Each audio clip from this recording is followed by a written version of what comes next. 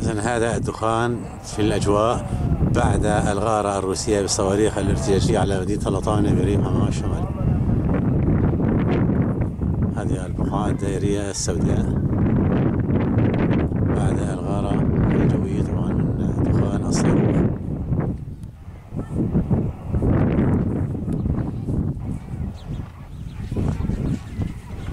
خمسة واحد ألفين وثمانية عشر.